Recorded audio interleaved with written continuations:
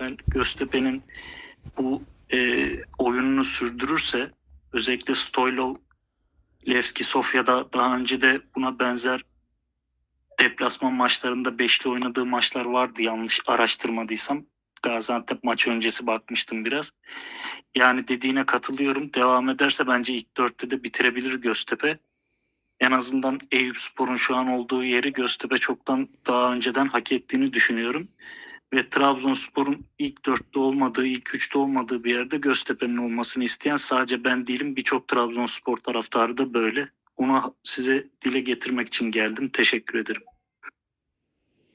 Biz teşekkür ediyoruz. Güzel sözleriniz, güzel düşünceleriniz için. Ee, biz de hep zaten bunun için mücadele veriyoruz. Sosyal medyada etkin e, arkadaşlarımızla, sayfalarımızla. E, önce biz İzmir'iz diyoruz. Ondan sonra da Anadolu'nun sesi olmaya soyunuyoruz Trabzonspor gibi. E, hep bütün Anadolu'daki şehirlerde insanlar Göztepe'ye sempati duysunlar. Sizin olduğunuz gibi ikinci takım diye Göztepe'yi takip etsinler. Göztepe'yi sevsinler, Göztepe'ye sempati duysunlar istiyoruz. Trabzon'da bunu başarmışız. Ee, ne mutlu bize. Ne kadar güzel. İzmir'e deplasman yapmış bir taraftarın semtimizde gezmiş, dolaşmış, stada yürüyerek gitmiş bir deplasman seyircisinin bu söylemleri gerçekten çok güzel. Ee, bizim için ayrıca mutluluk verici. Ee, biz bunu istiyoruz. Göztepe için herkes bütün Anadolu şehirlerinde böyle düşünsün istiyoruz. Bunun için mücadele veriyoruz. Ee, ben açıkçası çok keyif aldım, çok mutlu oldum bu söylemlerin için Erdinç kardeşim. Tribün demişken, bu kadar güzelliklerden bahsetmişken biraz da e, yaşanan sıkıntılı olaylardan bahsedelim. E, deplasmana gidiyoruz. Yolda Bandırma Spor taraftarıyla karşı karşıya geliyor. Bir volt taraftarımız. Şimdi e, bakıyorsun videoları izliyorsun. Artık her şey kayıtlı, her şey videolara çekiliyor. Her iki tarafın da bakış açısıyla videoları seyredip e, objektif olarak karar verme hakkı herkese ait. insanların kendisine ait. Görüyorsunuz. Şimdi bizim Bandırma Spor'la bir husumetimiz yok. Bir rekabetimiz yok. Ayrı liglerde oynuyoruz. 3-4 e, otobüs dinlenme tesisine girmişsiniz. Bir volt taraftara gidip de e, taciz etmek, rahatsız etmek, e, insanları sıkıntıya sokacak durumlar yaratmak, gereksiz tepkiler az sayıda taraftarı görüp e, ezmeye çalışmak. Ama işte e, yani ne kadar biz Bandırma Spor'un rakibi olmasak da herhangi bir husumetimiz olmasa da arkadan gelen otobüs gerekeni yapıyor bandırmalılara. E, bandırmalılar başta yaptıkları haramiliği Göztepe'lilerin efeliğiyle karşılık buluyorlar. Ondan sonra bakıyorsun videolara işte otobüslerde kadınlar var, çocuklar var. Yani e, madem otobüsünüzde kadınlar var, çocuklar var. Göztepe ile hiçbir e, husumetiniz yok. Hiçbir rekabetiniz yok. Neden Göztepe deplasmanına çıkmış bir Beşiktaş deplasmanına çıkmış Göztepe'lilere gidip de artistik yapıyorsunuz? Neden insanları taciz ediyorsunuz? Bunları e, yaptıktan sonra da başınıza gelenlerden neden şikayet ediyorsunuz? Yani e, bunlar sevgili Kerem Ertan'ın da Erman Toroğlu'na söylediği gibi önce bir diyor baksınlar Göztepe taraftarına ne yapılmış. Ondan sonra Göztepe taraftarı ne yapmış. Hep burada söyledik programlarda aylardır belki de 2-3 yıl oldu artık yıllardır konuşuyoruz burada. Göztepe'ye nasıl gelirseniz Göztepe size fazlasıyla gelir. Buyurun canlı şairi burada Erdinç kardeşim biraz evvel anlattı. Yaşadıklarını ne kadar samimiyetle ne kadar e, keyif alarak böyle canı gönülden onun da bir artık Göztepe sempatizanı olduğunu belirterek söylüyor. E, yani ne var Bandırma Spor deplasman otobüsleri Göztepe Volt'unu görüp de arkadaşlar hoş geldiniz merhaba hadi hayırlı yolculuklar. Bunları söylemek varken neden insanlara sarma ihtiyacı duyuyorlar? Tabii deplasman otobüsleri e, alkolün biraz daha fazla yüksek tüketildiği, dar alanda tüketildiği, kanda çok fazla etki ettiği ortamlar. Ben de çok bulundum o ortamlarda. E, buna vermek lazım ama yani Bandırma sporlarının yaptığı iş değil. Başlarına geleni de hak etmişler. Onun için e, tribünsel olaylarda her zaman bize en doğru bilgileri, en net tribünün içinden yaşananları Serhat aktarıyor. Serhat'cığım sen ne düşünüyorsun bu konuyla alakalı? Oradan devamında Beşiktaş stadının önünde ufak tefek de olsa yaşananlar hakkında hemen mikrofonu sana vereyim. Abi herkese hayırlı akşamlar. Sesim geliyor mu? Biraz sesim kısık çünkü. Gayet güzel. Abi şöyle tabii sen çoğu şeyden bahsettin. Ee, ilk önce şunu söyleyelim. Hani bazı insanlar bizim nasıl düşüncelere sahip olduğumuzu bilsinler tribünsel olarak. Şimdi biz hiç kimseye bize saldırmadan saldırmıyoruz abi. Kimse bize küfür etmeden küfür etmiyoruz. Biz çünkü yıllardır bunu bize haksızlıkla yapıldığını bildiğimiz için biz de kimseye yolda hani herhangi bir takım olabilir. Gördüğümüz zaman özellikle yani yanında bayan, çocuk, yaşlı biri olduğu zaman kesinlikle saldırmıyoruz. Yani hasmımız bile olsa bu kadar diyeyim saldırmayız. Olayın şimdi başlangıcı başladığı yere gelelim. En yakın şahitleri biziz. Yetişen otobüs, ikinci otobüs bizdik oraya. Şimdi be, e, tam 10 tane Volt'un içinde öğrenci kardeşimiz var Uniforce'tan. Bunlar benzinlikte duruyor. Bunlar 6 otobüs şeklinde geliyorlar oraya. Ve çocuklara saldırmaya çalışıyorlar. E, otobüsündeki pankartı almaya çalışıyorlar. Ondan sonra çocuklara işte e, şiddet uygulamış ama işlerinde bazıları sağduyuları var. Saydulu olduklarını düşünüyoruz daha doğrusu. Onları ayırmaya çalışıyor ama ondan sonra tabii videonun devamını çekmemişler. Ondan sonra Volt'un camlarını kırmaya başlıyorlar. Ondan sonra Volt'un camlarını kırmaya başladığında bizim çocuklarımız hani gençlerimiz kaçmıyor orada. Savunuyor kendini. O arada bizim bir otobüs arkadaşımız yetişiyor. Ve yetişen otobüs şöyle bir otobüs. Yani müferit gidenler ha, hani hep düzgün çocuklar öyle tribünde kavga dövüş yapmayacak insanlar. Onlara denk gelmelerine rağmen onlar bile çılgına dönüp saldırıyorlar onlara. Çünkü yani 6 otobüs bir insan 10 tane Göztepe'liye saldırması bir hak değildir. Yani böyle bir yazıyorlar ya çocuklara, kadınlara saldırmışız. Yani bu işi geçecekler. Kimse kadınlara, çocuğa öyle saldırmaz. Otobüsün hani geçtiğim için içine o otobüs oradayken ben de yetiştim. Canlı şahidiyim. Orada içinde kadın, çoluk olduğunu kimse görmez. Zaten otobüsten otobüslere kaçarken bile 2-3 tane bandırmalı kaldı orada. Bir tane fiske bile yemediler. Boyundaki atkıları bile almadık. Koştura koştura otobüslerine yetiştirdik. Binsinler gitsinler yeter ki. Bunlar e, o kadar delili kanlar ki e, altı otobüs bir volta saldırıyorlar ama tek bir otobüs Göztepe'ye geldiği zaman kaçmaya başlıyorlar. Yani bunlar o olay oradan başlıyor ve e, diğer otobüslere e, olaylar gidiyor. Ondan sonra bunlar yola çıktığı için her denk geldikleri otobüsten hakkını alıyorlar. Ama tabii biz şiddet yanlısı değiliz. Ama kardeşim bize yumruk sallayana da çek verecek halimiz yok. Bir kere bunu bilsin herkes. Ondan sonra yolda bu yaşanan olaylardan sonra Balıkesir'den ve Yolova'dan mı bir otobüs e, Beşiktaşlı e, yolda yine bizim kardeşlerimizi görüyorlar ve o kardeşlerimiz de e, hepsini alnından öpüyorum. Çünkü üç tane karakol gezdiler. Dün maça da giremediler. Karakollarda işlemleri bittikten sonra İzmir'e döndüler. Oradaki sevinci, galibiyetin zevkini tadamadan geri döndüler. Onlar aramızda en hak edenlerdi.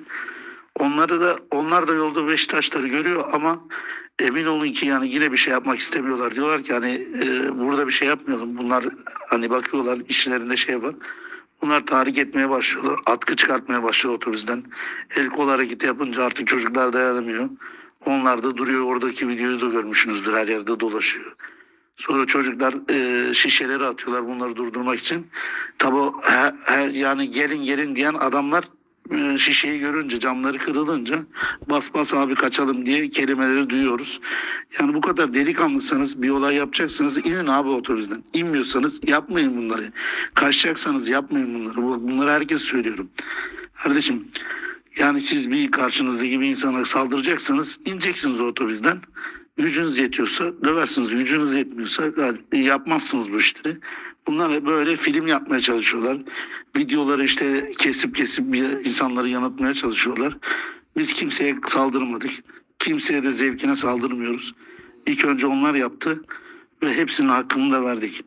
Ondan sonra İstanbul'a gelelim abi. İstanbul'da tabii Beşiktaş e, taraftarı her zamanki gibi. Ta biz amatöre düştüğümüz zaman kendileri Süper Lig'de şampiyonluğu oynayan bir takım ama bize küfür ediyorlar statlarında. Yani bizde ne işleri olur bilmem. Biz amatöre düşmüşüz. Amatörde seneye. Yani o zamandan bir aramızda bir husumet oluşuyor. O husumetin de yani iki maç, üç maç öncesine düşünmesin kimse. Yani Beşiktaşlar bir zevkine kendimizi göz, göz gösterisi yapmak için Beşiktaş tribünü karşısına alarak prim yapmak düşüncemiz yok. Beşiktaş her zaman bize prim yapmak için saldırmıştır. Bunu da herkes bilsin. Ondan sonra oraya geldiğimizde e, biz 20-25 otobüs yakındık e, toplamda. Bu otobüslerle e, şeye yetiştik stadın oraya. Tam Dolmabahçe'nin oradan yukarı doğru çıkarken bu otobüslerden e, şöyle diyeyim size e, son bir otobüs veya iki otobüs kala saldırıyorlar. Yani o kadar büyükler yani çok böyle millete saldırmaya hastalar ya. En baştaki otobüse saldırsalar ya. Ya bunların işi gücü abi böyle işte kendilerine bir video yaratmak, bir olay yapmak, işte bir prim yapmak. Hadi oraya da geçtim. Orada da yine bize haksızlık yaptılar. Neymiş biz kaçmışız otobüslerden inmişiz. Yani onu da geçtim. Oraları da geçiyorum. Tribüne çıkıyoruz. Beşiktaş tribünü bütün e, bağıracak insanları bir kale arkasına toplamış. Ona rağmen 90 dakika bizi dinlediler. 90, 90 dakika sesimizi biz burada bıraktık. 2-0 olmasına rağmen bizim tribünümüz onlardan daha çok bağırıyordu.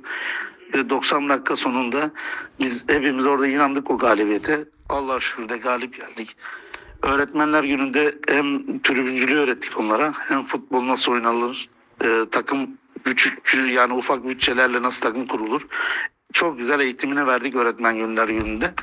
Yani başka eğitim almak tribün isteyenler tribünler varsa da bize başvurabilir. Hepsine güzel eğitim verebiliriz. Ama bunu tekrar söylüyorum abi şiddet yanlısı değiliz. Bize kimse saldırmadan biz kimseye saldırmıyoruz. Bunu herkes bilsin. Biz manyak değiliz yoldan gezen insanlara saldıracağız. Biz Ankara- söylüyorum her zaman. Bize elini uzatana bile biz her zaman elimizi uzatırız. Bize taş atana biz daha beteriyle karşılık veririz. Bu kadar basit. Abi, abi şöyle bir örnek vereyim sana. Yıllar önce biliyorsun Ankara gücünde biz büyük hasımdık. Yani öyle birbirimizin otobüsünü taşlamak değil birbirimize bıçaklarla saldırdığımız zamanlar oldu. Hani o tabii geçmişte kaldı. İşte. işten en büyük zarar görenlerden bir tanesi Aynen. e, bir tanesi benim Serhat'cığım. Hani manevi olarak, maddi olarak zarar Ha, gördüm. Yani şöyle Ankara e, gücüyle oynadığımız dur o- onu onu hemen araya gireyim anlatayım. tabii tabii buyur abi. Bir dinliyordur belki Mustafa Akça var. O zaman e, bizim adminlerimizden bir tanesiydi sevgili Mustafa. E, Ankara gücüne de, Ankara gücü deplasmanına göndermiştim onu. Alt ligde oynuyoruz. Yani ikinci ligde yayın yok. O zamanlar E, biz e, kameralarla, telefonlarla çekiyoruz, yayın yapıyoruz. Ben yapıyorum. E, farklı sayfalardan arkadaşlar da yapıyorlar. Ben deplasmanlarda gidiyorum, protokolden çekmeye çalışıyorum falan. O, o arada o maçta da yine yayın yoktu Ankara gücüyle oynadığımız ikinci ligdeki maçta. Mustafa'yı deplasmana göndermiştik. Yeni de kamera almıştık daha. Hani belki bir önceki iç saha maçında ya kullanmıştık ya kullanmamıştık. Tam hatırlamıyorum kamerayı. Mustafa deplasmana gitti. E, protokole de yazdırdım onu. Hani rahat çeksin, çekim yapsın, yayın yapsın diye. Maçın 10. dakikasında Ankara güçlüler şikayet etti. Protokol tribününde kapattırdılar kamerayı. Mustafa dedi ne yapayım abi ben? Dedim Mustafa'cığım çık dışarıya git bir tane bilet al kale arkasına. kale arkasına geç. Salaktan kale arkası tribününden maçı çek yayınımıza devam edelim. Hani bi- bi- binlerce insan bizi bekliyor. Mustafa çıktı stat'tan. Kale arkasından bilet aldı tekrar kale arkasına girdi. 10 dakika yayın yaptık. 10. 15. dakika tabii biz ne kadar kovalıyorsak sosyal medyayı. Ankara güçlüler de kovalıyor aynı sosyal medyayı. yayını bulmuşlar, yayını görmüşler. Ondan sonra tribünde organize olmuşlar. Gittiler Mustafa'yı buldular tribünde. Sevgili Ankara güçlü kardeşlerimiz. Onlardan hala bir kamera alacaklıyım. Mustafa'yı tabii Mustafa da o zamanlar üniversiteli kovalıyor tribünleri. Ee, Ankara'da da arkadaşları var. Ankara gücü tayfadısından da arkadaşları var iyi kötü. Ee, ona bir şey kendine bir şey yaptırtmıyor ama alıyorlar kamerayı e, atıyorlar kale arkasında üstünde tepiniyorlar paramparça ediyorlar kamerayı. Ondan sonra Mustafa'yı salıyorlar bırakıyorlar. Ya sen Ankara gücü demişken dostluk demişken ben Ankara gücüyle dostluk olması için sosyal medya sayfalarımda çok mücadele ettim. Bana çok gereksiz geliyordu ama sevgili Ankara güçlü arkadaşlarımıza da bu dostluğumuza binaen benim bir kamera alacağım olduğunu açıkça hatırlatmak isterim. Buradan da Ankara gücüne, Ankara güçlere selam olsun. Ben bu ufak Ya- bu hikayeyle senin sözünü kestim Serhat'cığım. Sen kaldığın yerden devam edebilirsin. Aynen abi. Ya tabii kötü bir olayla bu barış sağlandı ama keşke çocuklar ölmeseydi. Tabii biz yine barışırdık Allah'a şükür. Yani çünkü Tabii ikimiz o- daha oraya hiç girmek istemedim açıkçası. girmek istemedi tabii ben de. Ama şöyle kısaca geçeyim abi. Biz bir ya İstanbul deplasmanı ya da Gebze'de herhalde bir yerden geliyorduk. Dinlenme tesisinde. Ankara güçlerde e, Balıkesir'in bir yerden geliyorlar bunlar. Bir türlü bir tesiste denk geldik. Daha doğrusu biz içeride yemek yiyoruz. Ankara güçler içeri girdi. Biz onlara baktık, biz on- onlar bizlere baktı. Ve yani o zaman bildiğiniz çatışıyoruz her yerde, her gördüğümüz yerimizde. Selamünaleyküm, afiyet olsun. Aleykümselam, afiyet olsun. Buyurun. Var mı isteğiniz bizden? Biz dedik yok, sizin var mı isteğiniz yok dedik. Çıktık gittik abi. Ya şimdi emin olun yani bandırmalılar orada gelip o çocukları görse. Ya dese ki ya hayırlı yolculuklar beyler, başarılar size. Aynen Bizim çocuklar da ben de yani bu kadar basitti ya. Ya çok basitti yani Ankara yani bunu yapmanıza gerek yok. Yani zararı onlar gördü. Gittikleri her yolun her kenarında bir Göztepe otobüsüne denk geldiler. Her geldikleri otobüste de yani bildiğin dayak yediler. Camları kırıldı. Yani kimse istemiyor bu işlerin olmasını ama abi yani bize yumruk atana da taş atana da çiçek verecek halimiz yok. Biz de yani bu yollarda çok zamanımız geçti. Çok şeyini gördük. Yani bu olayları tabii biz tasvir etmiyoruz ama bize dediğim gibi yumruk sallayana, taş sallayana çiçek verecek halimiz yok. Karşılığını verdik ama şunu söyleyeyim sosyal medyada çok güzel algı yapıyorlar. Yani o algıları geçecekler. Bu o Beşiktaşların yaptığı algılar. İşte demiş biz kadın olduğu otobüse atmışız. Eğer otobüsünüzde bayan varsa deplasmana gidiyorsanız kardeşim Antalyalı bir arkadaş yazmıştı alta yorum çok güzel. Tiyatroya mı gidiyorsunuz? Deplasmana gidiyorsunuz. Kadın çocuğun ne işi var orada? Ya gidebil gidiyorsan kadınla çocukla ya münferit arabaya gideceksin ya uçakla gideceksin. Ve deplasman otobüsünün içinde onlar olmaz. Olduğu zaman da böyle bir şey yaşandığı zaman da duygu sömürüsü yapmayacaksınız kardeşim. Kimse deplasman otobüsünün içini görmüyor yani şey değiliz biz. Özel güçlerimiz yok içeriği görelim. Sonuçta o arbedede kimse kimseye ayıramıyor, göremiyor. Orada ufak tefek olaylar oluyor. Tabi bandırmalılar suçlarını kabul ettiler. Kendi amigoları dahil bunu. Gerekeni yapacaklarını söylediler. Kendi aralarında konuşacaklarını. Ama tabii biz dediğimiz gibi kardeşim yolda Yani bizi işte biz gördünüz mü? Beşiktaş deplasmanına gidiyoruz. Beşiktaş'la e, Yani, oynuyoruz. ya, Beşiktaş'ı abi. yeniyoruz, gidiyoruz. Biz niye bandırma konuşuyoruz arkadaşlar? Sevgili Abi bandırmalılar. işte bak abi yani sonuç yani işte bu olay bu zaten yani bizi bunu konuşturmaya çalışıyorlar. Ya Beşiktaş olayına gelelim. Yoldaki Beşiktaşlara yani kendileri otobüse gel gel yapıyorlar. Kendileri otobüse saldırmaya çalışıyorlar. Sonra ilerideki otobüse yakalanınca "Ay bizim camlarımızı kırdılar. Camların yanında kadınlar vardı. İşte çek çek videoya. Ondan sonra du- duramayınca abi bas bas kaçalım diye sesleri de çıkıyor. Yani o kadar salaklar ki yaptıkları e, şeylere kendi şey kendileri düşüyorlar kazdıkları kuyulara diyelim daha doğrusu. Ya sonuçta abi biz güzel bir galibiyet aldık. E, ben geçen yayında da söylemiştim. Antep deplasmanında iyi bir futbol oynamıştık. Tabii mağlup olduk ama Allah'a şükür o iyi futbol burada yansıdı. İnşallah bu Başakşehir deplasmanı da yansır. Devre arasına kadar ne kadar yukarıda kalırsak bizim için iyidir. İnşallah yönetim bunu görüp e, bu çileleri, bu şeyleri e, güzel transferler yaparlar devre arası ve inşallah ligi üçüncü veya en kötü Türkiye kupasını alarak bu ligi Avrupa'la bitirmemiz gerekiyor. Çünkü abi hak ediyoruz bunu biz her şeyi hak ediyoruz. Oynadığımız topla, kulüp yapısıyla, e, taraftarıyla her şeyle hak ediyoruz abi. Bu olacaksa da bize yakışır. İnşallah biz oluruz. E, buradan yönetimimize de sesleniyoruz. İnşallah bizim sesimizi duyarlar. Yani her konuşmalarında bu şeyden de sıkıldım abi. Arsa muhabbeti bu şey e, muhabbeti yani bunları geçin olmuyor kardeşim bakın biz otobüsleri almak için o milletvekili bu milletvekili dolaşıyoruz ne zorluklarda gidiyoruz deplasmana. Bir de bu kadar saçma olaylarla uğraşıyoruz üstüne. Ya biz bu kadar çile görüyorken siz de O birkaç arsaları alacağız Serhat. O arsaları Göztepe'ye tahsis edecek bu şehir. Tabii, Bu tabii şehrin, abi. bu şehrin Göztepe'ye borcu var. Bu Aynen şehrin, abi. Ya şehrinin Göztepe'ye borcu var. abi hem Göztepe siyasi 99 yıldan beri e, en tepede İzmir şehrinin, İzmir sporunun şerefini, namusunu e, savunuyorsa, bunun için mücadele ediyorsa, biz İzmir'iz diyorsa, İzmir şehrinin Göztepe'ye bu tesis, en azından tesisin arazisinin borcu var.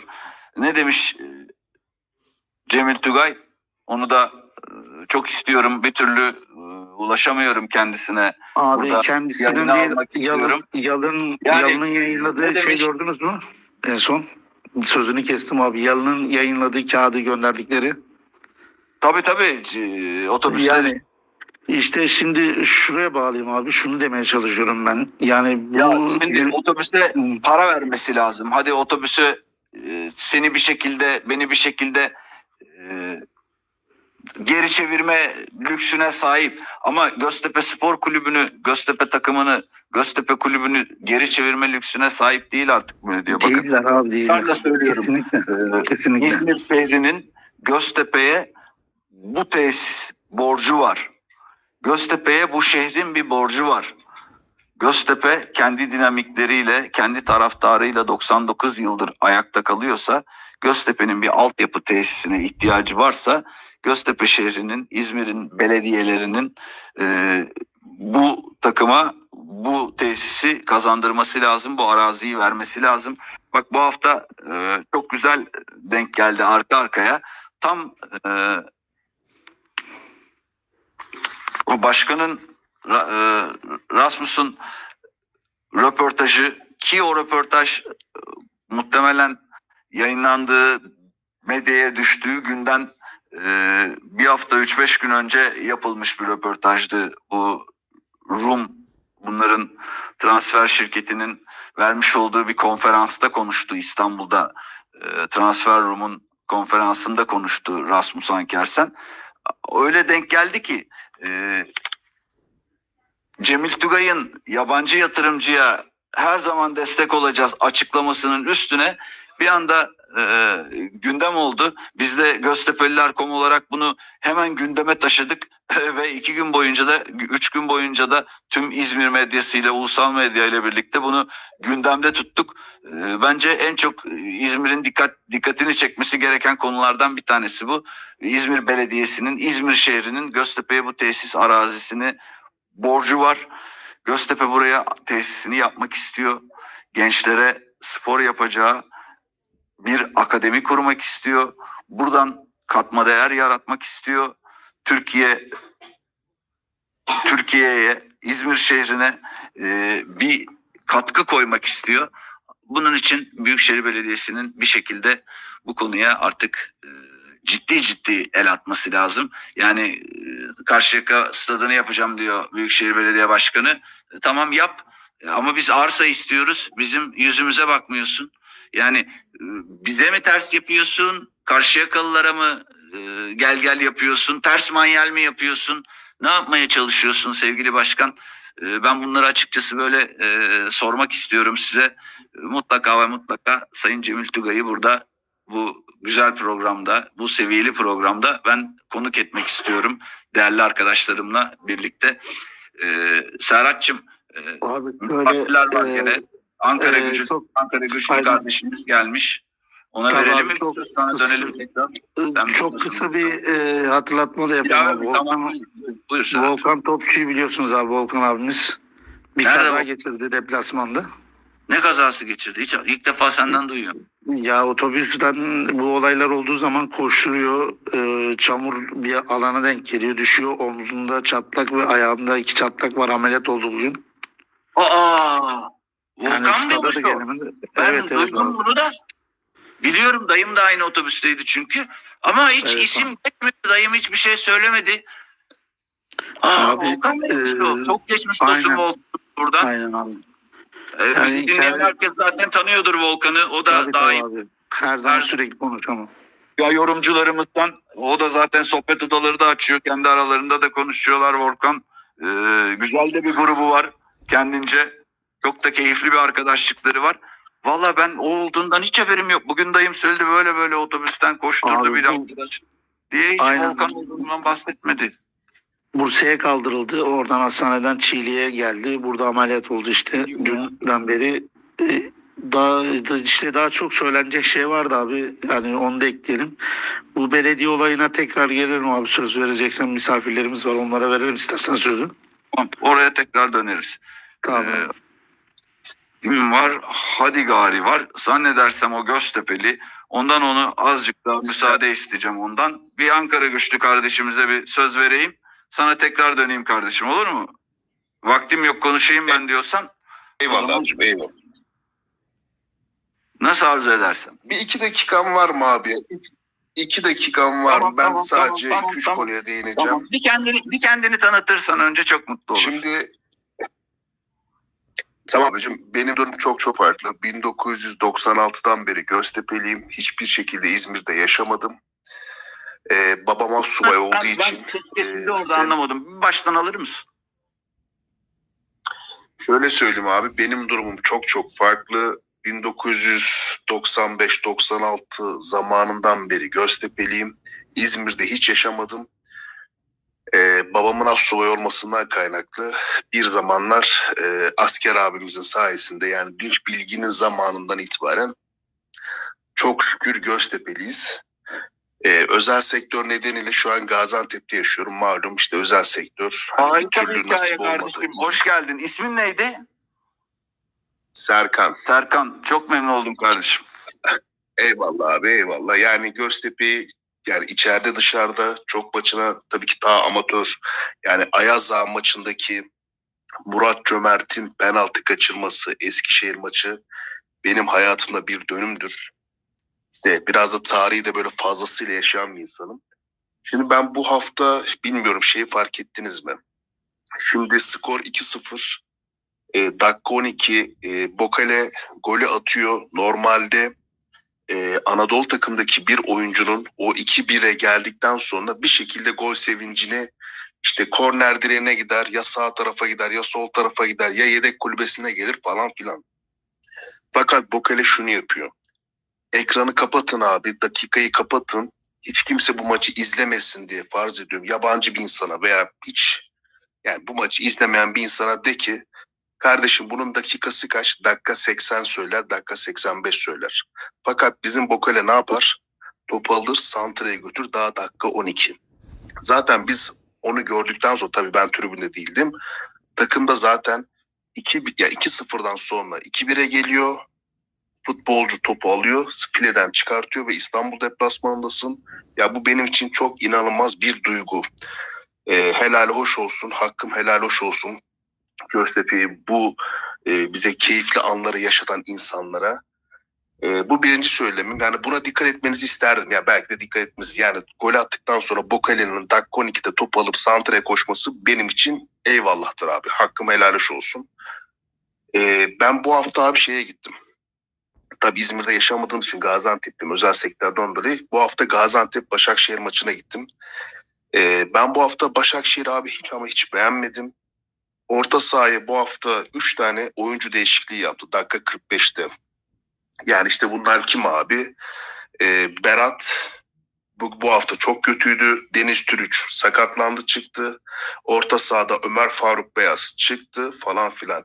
Yani biz İstanbul'da Başakşehir'i her türlü tokatlamamız lazım ki Gaziantep'in orta sahası Ndiaye 34 yaşında, Maxim 35 yaşında, bir genç bir arkadaş var Kozlovski 20 ve 21 yaşlarda. Yani Antep'in bu yaşlı savunması Başakşehir'i paramparça etti orta sahada ve Çağdaş 3 tane oyuncu değişikliği yapmak zorunda kaldı ilk 45 dakikada. He, yerine giren Crespo da Pelkas da at çöpe gitsin. Dolayısıyla ben şimdiden Başakşehir maçına artı 3 yazıyorum. Çünkü inşallah Soley bu hafta oynayabilir. Yani Soley, Deniz bence Başakşehir paramparça etmesi lazım orta sahada. Bu haftaki performansına göre konuşuyorum. Yani Başakşehir'in Antep e, performansına göre konuşuyorum. Sadece abi benim sizlere naçizane bir önerim. Yani önemiyorum ama gitmeniz gereken tek bir şey var. Çağdaş kendi bulunduğu lig kulübesinin önünde çok fazla sahaya müdahale oluyor. Burada bir tahrik konusu çok fazla var. Hani zaten adamın boy yapısı itibariyle 1.90, 1.95. Yani orada biraz dikkat etmek lazım abi. Çünkü Çağdaş bunu burada çok yaptı. Gördük yani Antep'te. Muhtemelen bunun aynısını da İstanbul'da yapacaktır. Tahrik edecektir Çağdaş adam. Valla bandırma maçı için abi tek bir şey söyleyeceğim. Hani keşke bu onlar olmasaydı ama ben bu hafta özellikle bandırma içeride Malatya ile oynayacak. Dışarıda Iğdır'a gidecekler. Ya bakalım o güzel ablalar, e, o sarışın ablalar, esmer ablalar, o yakışıklı çocuklar, gençler, kardeşler. Bakalım Iğdır'a gidecekler mi? Ne kadar çok seviyorlar bandırmalarını.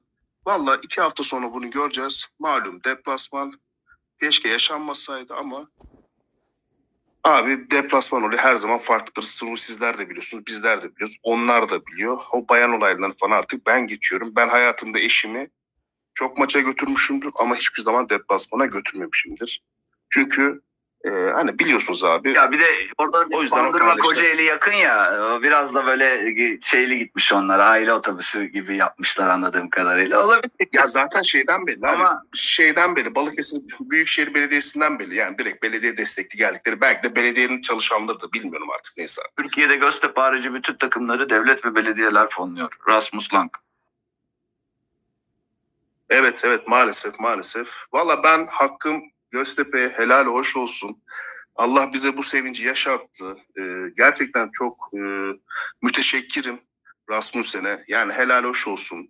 Bakıyorsunuz şu takımdan en azından en azından şu takımdan 6-7 tane transfer yapabilecek bir duruma geldik. Valla peşin satan gibiyiz. Sene sonunda göbeğimizi kaşıyacağız. Kim güzel para verirse alır parasını milyon euroları İzmir'e verir abi götürür. Yoksa hepsi bizim biraderimiz. Hani gerçekten bu hoş bir şey. Ee, vallahi gurur duyuyorum. Harika bir kadro yapılanması var. Yaş ortalaması 21-22 dedim ya yazın abi göbeğimizi kaşıyacağız. Parayı veren düdüğü çalır hesabı ama milyon euroları veren Deniz'i de alır, Soleil'sini de alır, Atıyorum Juan'ı da alır, Romulos'unu da alır.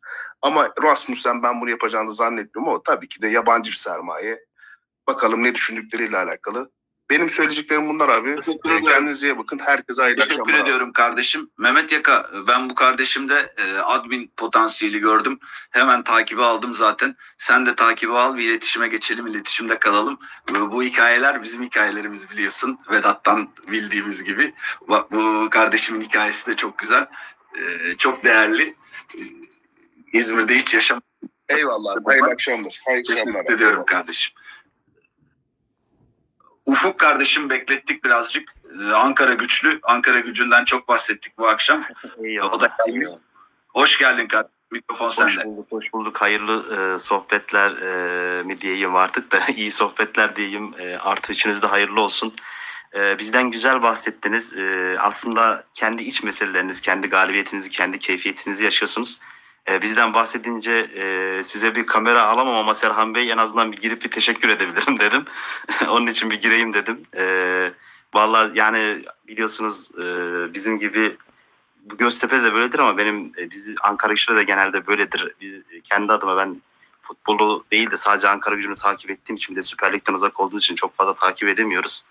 E, dün sizin adınıza açıkçası çok sevindim cidden yani keşke biz de oraya çok güzel deplasmanlar yaptık. E, çok sağlam sıkı gittiğimiz zamanlar oldu ama maalesef bizim e, genel olarak kaderimiz sahaya çok yansıtamadığımız, genellikle yansıtamadığımız zamanlar oldu. Hep boynumuz bükük döndük ama siz bunu dün doya doya yaşadınız. Ee, yani dün sizin yaşadığınızı biz yaşamız olsaydı ki inanın Ankara'ya dönene kadar 3-4 tane kalp krizi geçiren olurdu. Ee, sizin adınıza sevinçliyim. Ee, yani dediğim gibi e, çok takip edemiyoruz ama e, iyi olduğunuzu biliyorum, güzel yönetildiğinizi biliyorum. E, adımız geçtiği için bir selam vereyim dedim. E, selam olsun. E, davanızda başarılar diliyorum. E, kolay gelsin, iyi akşamlar diliyorum. Eyvallah kardeşim güzel sözlerin için e, teşekkür ederim. Biz kamerayı ta o zaman helale hoş ettik zaten. Hiç sıkıntı yok. Ankara güçle Ankara gücü taraftarıyla ben senelerdir aramızda olan o gereksiz husumeti hep e, ters karşılaş, karşılamışımdır. Hep e, e, bu barışın yapılması temennisinde, arzusunda, isteğinde, çalışmasında bulunmuşumdur.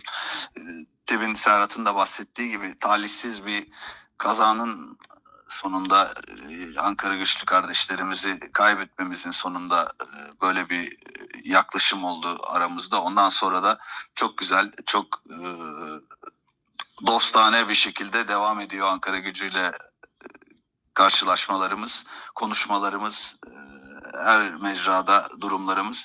Onun için çok teşekkür ediyorum güzel sözlerin için. E, Sağ ol, var ol. Bizden buradan Ankara gücüne selamlar, Ankara'ya selamlar, Ankara gücüne de başarılar diliyoruz.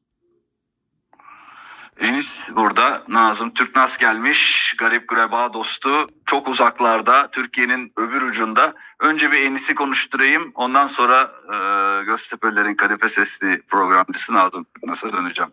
Enis hoş geldin. Abi herkese iyi akşamlar. Sesim geliyor değil mi abi? Geliyor geliyor, çok güzel, devam et. Ee, ben e, bu olaylarla ilgili herkes bir şeyler anlatıyor ama ben sadece tek bir şey söyleyeceğim. Rahmetli Bülent Özkul'un dediği Göztepe'ye verdiğiniz Göztepe size misliyle geri verir. Siz Göztepe'ye bir yanlış yaparsanız Göztepe taraftarı size 10 yanlışla cevap verir. O yüzden sadece bu olaylarla ilgili bunu söyleyeyim. Ee, bir de maçla ilgili ben stat'taydım. Hayatımda e, gördüğüm en güzel maçlardan birisini canlı seyrettim. Sadece maçı seyrederken değil bizim tribüne bakarken de e, zevk aldım. Çünkü e, hem sahada hem tribünde üstündük.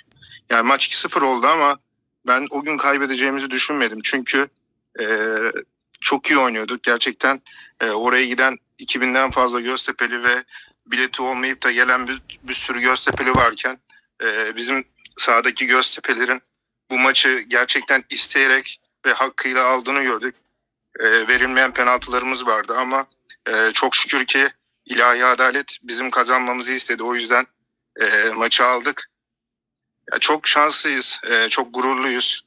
O gün e, deplasmanda olmak isteyen birçok Göztepe'li vardı.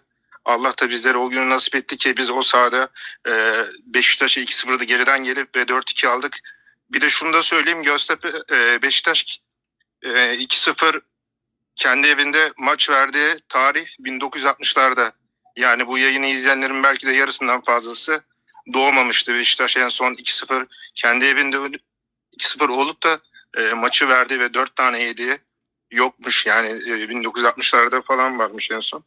Bu da bir büyük bir gurur. O yüzden artık e, İstanbul e, bizlere deplasman değil.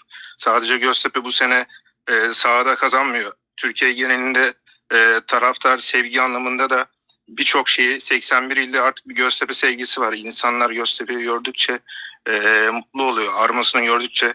O yüzden e, iyi ki iyi ki Göztepe'liyim diyorum. Çünkü gerçekten e, Göztepe'li olmak ayrıcalık. Sadece e, bunu yaşayanlar bilir. O yüzden e, şanslıyız o gün sahada. O gün tribünde olduğumuz için ve gerçekten e, Başakşehir maçını da iple çekiyoruz. İnşallah tekrardan bir 2000 kişi ceza alacak ama bir 2000 kişi daha tekrardan o maça gelecektir. Göztepe'yi hiçbir zaman taraftarı yalnız bırakmayacaktır. Teşekkür ederim Serhan abi bana verdiğin Ben teşekkür ediyorum kardeşim. Ee, sen de e, tercüman oldun içimizden geçenlere. Ee, bugün gün içinde şimdi konuşan arkadaşlarım hepsi aynı şeyi söyledi. Bugün gün içinde hep aynı şeyi konuştuk. Hep aynı şeyi söyledik insanlarla Göztepe'de, semtte birbirimize. Yani Göztepe'nin maçı kaybetmeyeceğini e, anlıyordunuz, hissediyordunuz. Maç 2-0'a geldiğinde bile e, o enerji resmen televizyonun karşısında bize yansıyordu. Tebin e, bir arkadaşımızın da söylediği gibi e,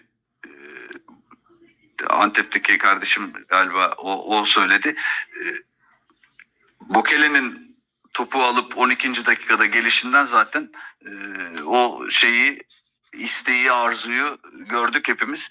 Yani ya, televizyonun karşısında ben açıkçası bu takım bu maçı kaybetmez e, rahatlığıyla böyle bir o enerjiyi ben hissettim muhtemelen benim gibi e, birçok insan ekranları başında onu hissetmiştir. E, Senin de dediğin gibi Enis'cim yani keyif verdi Göztepe bize. E, mutlu etti. E, Ee, sağ olsun, var olsun. Evet, Nazım Türknaz bu hafta Anadolu'yu dolaşırken şu an durağı Türkiye'nin öbür ucu Iğdır bu soğukta, bu karda, buzda Iğdır'dan Iğdır spor maçında Iğdır Ahmet spor maçını takip etti. E, tabii mesleği gereği e, gitmesi lazım. Her yerden takipçileri var, her yerden sevenleri var, her yerden isteyenleri var. E, Her şehirden talep geliyor Nazım Türknaz. e, gel statta maçımızı izle, televizyonda bizi konuş, radyoda bizden bahset diye insanlar kendisini çağırıyorlar. E, Beni de çok mutlu ediyor, çok gururlandırıyor açıkçası bu durum e, onun adına. E, Hoş geldin Garip Gureba Dostu, Anadolu'nun Sesi, Göztepe'lilerin Kadife Sesli programcısı Nazım Türknaz. Herkese Iğdır'dan selamlar, saygılar. Teşekkürler Serhan abicim. Güzel bir başlangıç oldu benim adıma. Ee, maç biraz önce bitti. Ee, hakikaten aslında çok soğuk değil ama e, tabii e, neye göre soğuk değil? Tabii kıyaslamak lazım. Ee, Iğdır biraz daha Kars'a ve Ardahan'a göre biraz daha e, iklimi yumuşak bir şehir. E, burada da Iğdır Ahmet maçı var. Kayısı yetişmiyor doğru orada. Biraz daha yumuşak orası. Hakikaten Hatta bravo. pamuk falan da yetişiyor. Çok enteresan bir şekilde. Yani e, Evet, evet. kabak gibi dümdüz bir yer. Hiçbir çıkıntısı yok. Ee, ek bilgi tabii şimdi önce Göztepe muhabbetinden önce biraz aktüel bilgi. Yıllar evvel şöyle bir durum vardı. Çok okuyan mı bilir, çok gezen mi bilir diye bir e, söz vardı. Ben her zaman için okuyandan taraftım. Yani şimdi okuyacaksın, öğreneceksin, anlayacaksın noktasında ama yıllar geçtikçe, e, yaş aldıkça e, çok gezmenin okumanın önüne geçtiğini öğrendim. Mesela bir bugün daha öğrendiğim bilgi normalde aslında Ağrı Dağı e, Ağrı'da gözüküyor ama e, Ağrı Dağı'nın %60'lık kısmı Iğdır'da. O zaman da Iğdır e, Ağrı'ya bağlı olduğu için, ilçe olduğu için o zaman da şehir olan Ağrı ismini vermişler. Bu da anekdot bir bilgi. Normalde Iğdır'ın e, her tarafından Ağrı Dağı gözüküyor. Böyle enteresan bir Iğdırlılar bu konudan muzdarip anladığım kadarıyla Nazım Türknaz. ya dedim diyorsun ki ya Göztepe sohbet odasının ne alakası var Iğdır ama işte ek bilgi yani yarın bir gün ortamlarda satarsınız ortamlarda kullanırsınız diye e, böyle bir başlangıç yapalım. Şimdi tarihler zannedersem iki ya da üç hafta önce bir pazartesi akşamıydı. Güzel bir İzmir İstanbul akşamındaydık. Saatlerimiz 23 20 30 23 30 civarlarında. E, bu garip gureba dostu bir şey iddia etti. Bazıları güldü, bazıları dalga geçti, bazıları inanmadı, bazıları belki de hadi lan dedi. Neydi o iddia? Şuydu. Göztepe iki tane İstanbul deplasmanında 4 puan çıkartacak demiştim. Neden? Şundan dolayı. Çünkü Göztepe kulübü, Göztepe takımı bir yerden sonra bir reaksiyon gösterecekti. Çünkü devamlı e, deplasman mağlubiyetleri, deplasmanda istenmeyen futbol, o pısırık futbol, o pasif futbol bir yerden sonra bir volkanik dağ gibi patlayacaktı. Ama nerede patlayacaktı? Tabii ki de e, İstanbul'da patlayacaktı. E, büyük bir maçta patlayacaktı ve e, herkes şaşırtan bir maçta patlayacaktı. Ben de maalesef e, bir çekim için e, Kocaeli nin Hodri Meydan taraftar grubuyla alakalı bizim e, aynen TV için bir belgeselden dolayı maalesef takımımızı yalnız bıraktım. Tabii içime de böyle bir şey kaldı yani kalmadı değil. Sıkıntı kaldı. Hani kulaklar derler ya kulaklar İstanbul'da gözler Kocaeli'nde ki hatta maçın da e, yarısına çıkıp tekrar İstanbul'a dönmüştüm. Bir yerde izlemiştik maçı. Şimdi bu skor beni aslında şaşırtmadı. Ukoyalık yapmak istemiyorum ama çünkü e, Göztepe bir yerde birilerini sıkıştıracaktı. Göztepe bir yerlerde birilerini e, bir madara edecekti, bir e, inci, incitecekti. Bu incittiği yerde gerçekten e, Beşiktaş deplasmanı oldu. E, gidenlere, o coşkuyu yaşayanlara, e, torunlarına kadar anlatacak bir hikaye oldu bu deplasman. Muhteşem. Özellikle 2-0'dan sonraki durum muhteşem. E, tabii maalesef e, bugün de hatta bir tweet attım bu konuyla alakalı. Böyle durumlarda biliyorsunuz e, Göztepe'nin oyununa bakılmaz ya da işte e, diğer Anadolu takımının durumuna bakılmaz. İsterse 5 atsın ki buradaki skor 4-2. 2-0'dan gelmiş bir tarih yazmış takımdan bahsediyorsunuz. Gollerin iki tanesini stoperlere atmış. Bokele ve Taha gibi. Bir tane oyuncusu Taha e, hem defans hem ofansta muazzam işler yapıyor. Diğer tarafta işte e, orta sahası forvetleri iki tane genç Brezilyalısı döktürmüş. İşte e, atılan gollerin fantastikliği, muhteşemliği. Onlar tabii konuşulmuyor. Ne konuşuluyor? Beşiktaş'ın yapmış olduğu hatalar konuşuluyor. Giovanni Van Bronckhorst şunu yapsaydı, bunu etseydi. Şimdi bu düzen inşallah e, yakın zamanda ben değişeceğini düşünüyorum. Şöyle ki e, şimdi Ankara Güçlü kardeşimize buradan selam olsun eğer buradaysa ve diğer takım taraftarlarına. Evet e, şimdi böyle galibiyetlere sevindim dedi mesela Ankara Güçlü takım e, arkadaşımız. Ben de mesela her zaman bunu söylüyorum. Yani Samsun Spor inşallah bu sene iyi gidecek. Göztepe iyi gidecek. E, yavaş yavaş çünkü medyadaki bazı algılar da aslında değişmeye başlıyor. Yani e, bir masa etrafında bir spor kanalı düşünün. Adına lütfen siz koyun. Bir spor e, kanalında bir masa var. iki tane üç tane koltuk var. Atıyorum 9'da başlıyorlar. 9'dan 11'e iki kişi geliyor. Üç kişi geliyor. Beşiktaş Fenerbahçe Galatasaray gidiyor. 11 bir arası geliyor 2-3 kişi daha Beşiktaş Fenerbahçe Galatasaray gidiyor. Yavaş yavaş artık bu para etmemeye başlıyor aslında. Yani bu e, bu ezberler, bu aynı tekrarlar, aynı konuşulanlar bakmayın. E, reyting almıyor bunlar aslında. Reyting almıyor çünkü artık reyting yavaş yavaş Anadolu'ya dönmeye başladı. Bir de e, yorumcu denen arkadaşlarımız yani maalesef ki maalesef bunu e, bugün de yazdım zaten.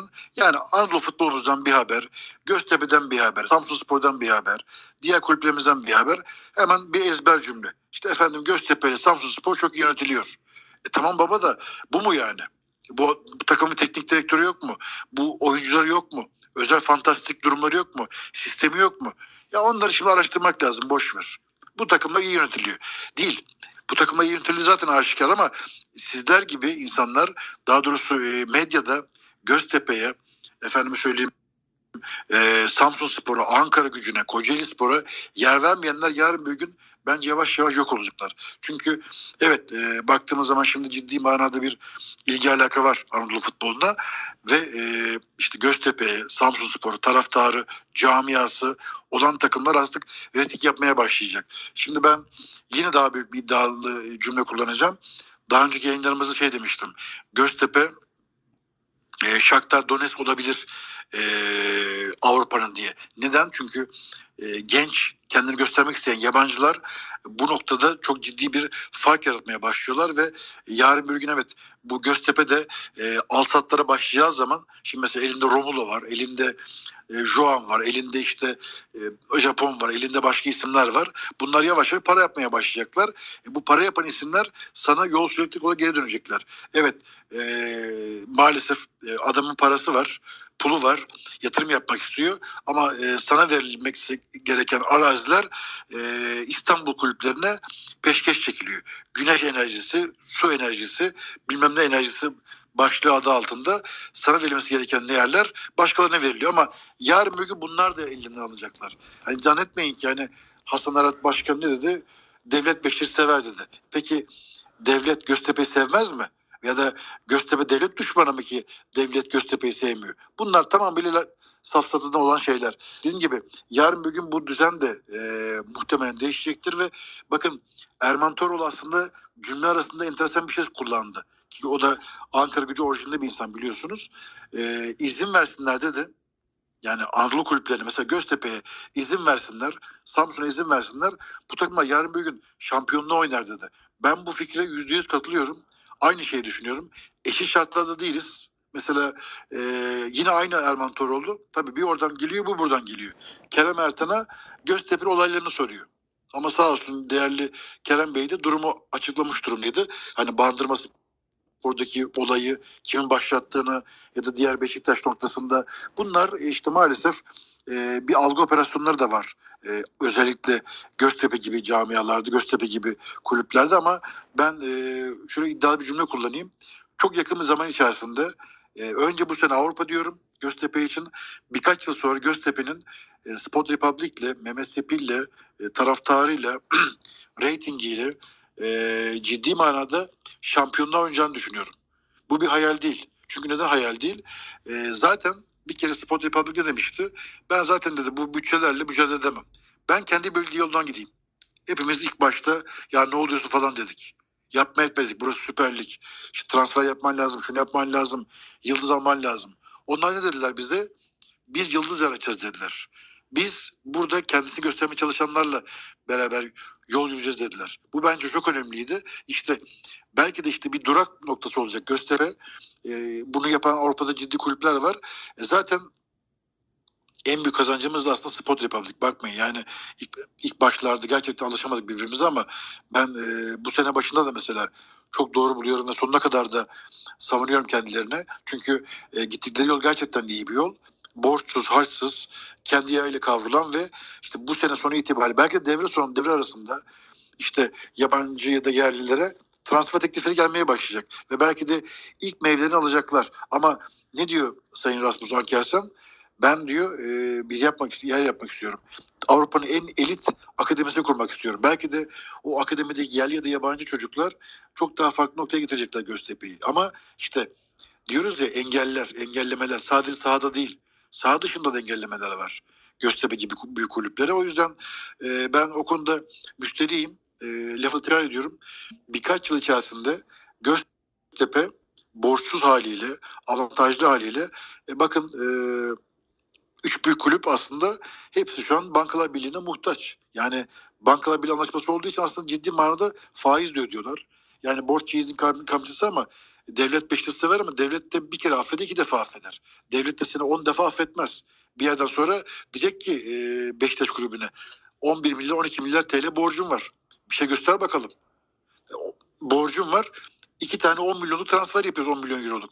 Ne iş? Nasıl olacak bu işler diye. Yarın bir gün devlet de aslında biraz böyle o dişini gösterecek bu büyük kulüplere ve büyük gözüken kulüplere. O zaman ne olacak? Borçsuz, kendi yayıyla kavrulan, e, sisteme ayak uydurmuş. Evet 11 milyon euroluk bütçesiyle. Bütçeler bazı önemli değil. Bütçeler önemli değil. Birinci ligde Şanlıurfa Spor 50 milyon TL ile bütçe yapıyor ama e, ligin orta sıralarında. Yani her şey para demek değil. Yani en iyisi, en paralı, en kalitelisi, en lüks. Hayır. İşte Göztepe belki de e, Süper Lig'deki ve Türk futboluna şöyle bir mesaj veriyor. Kardeşim enayilik yapmayın. Aptallık yapmayın. Verdiğiniz paralar aslında bu futbolcunun değeri değil. Ben aslında normal şekilde parayı veriyorum. Bu oyuncunun değeri bu. Bu oyuncular kendilerini geliştirecekler. Hem bana para kazandıracaklar hem de kendileri yükselecekler mesajını veriyor. Tabi anlayana ama Türk futbolunda e, işte anlamayan çok o insan olduğu için işte İstanbul'da yendiğim Beşiktaş kulübü gibi yani. Hollandalı teknik direktörü boş. Gelsin Stoylov'dan staj alsın.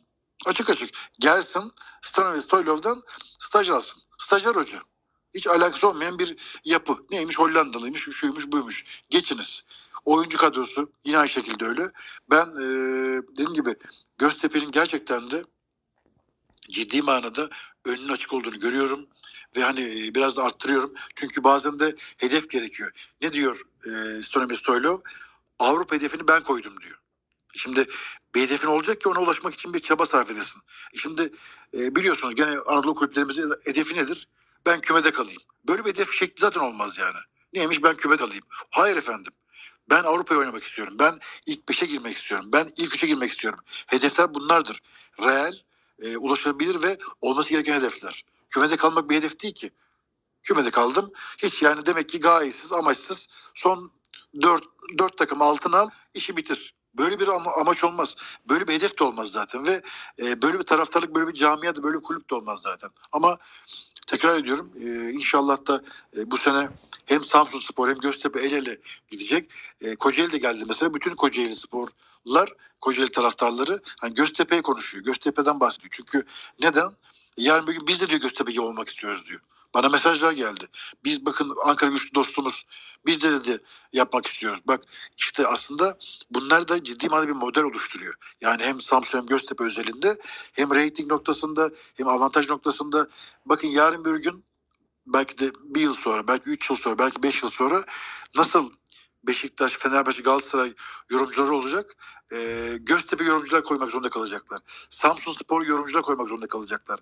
Ankara güçlü, Kocaeli'li, Konya Sporlu yorumcular koymak zorunda kalacaklar. Çünkü e, artık bu hani basma kalıp ezberci işte e, tamamıyla bilgisizce cahilce yapılan yorumlar ve yorumcular ve bu şekilde verilen şeyler ben biteceğini düşünüyorum. İflas etti artık yani. Ya bu düzen iflas etti. Bakın bugün de e, gündeme geldi. Türkiye Futbol Federasyonu Başkanı yeni seçildi, iflas etti. Şunu yapacağız, bunu edeceğiz, şunu yapacağız, bunu edeceğiz. E, boş. Yani o yüzden e, çare Anadolu, çare e, İstanbul değil. Anadolu ve e, Anadolu kulüpleri de artık hani böyle boş e, saçma sapan işleri bırakması gerekiyor. Mesela Ankara gücü ve Göztepe'nin düşmanlığı. Bana göre boş bir şey. Efendim Kocaeli Göztepe boş bir şey. Yani bu bu bu, bu şeyi bitirmemiz lazım. Senin rakibin şey değil. Kendi arandaki rakip değil abi. Senin rakibin o üst- senin paranı çalan, puanını çalan, e, emeğin çalanlardır. İstanbul'dakilerdir. Senin rakibin onlar. Onlara karşı birleşmen lazım. Onlara karşı etini göstermen lazım. Budunu göstermen lazım. Gücünü göstermen lazım. Ve ben bunu da e, çok değil yakın bir zaman içerisinde yapılacağını yürekten inanıyorum. Çünkü görüyorum yani medyadaki oluşumları. E, şimdi medyada kendine göre bir şekillenmeye başlayacak. Hiç konuşulmayan Göztepe şu an e, ezberlenmeye başladı. Bir bakıyorsun bir yerden Kerim Erten çıkıyor. Bir yerden bakıyorsun e, Mehmet Sepil konuşuyor. Bir yerden bakıyorsun mecburen Rasmus Ankersen mikrofon uzatıyorlar. Belki seviyor belki sevmiyor ama mecburen. Yüksel Yıldırım bir buçuk ay iki ay boyunca Yüksel Yıldırım konuştuk biz. Doğru mu? Devam Yüksel Yıldırım konuştuk. Ratingini yaptı. Başarılı da kulüp zaten. Daha da iyi gidecektir. İnşallah dediğim gibi yakın bir zamanda e, birkaç yıl sonra inşallah Göztepe olur ama Anadolu'dan mutlaka bir şampiyon çıkacak ve e, şimdiki kafaya oynayan takımlardan birkaç tanesi bence artık orta sahalarda yerini almaya başlayacaktır. O hegemonya ben yıkılacaktır diye düşünüyorum sevgili Seren Ergüz.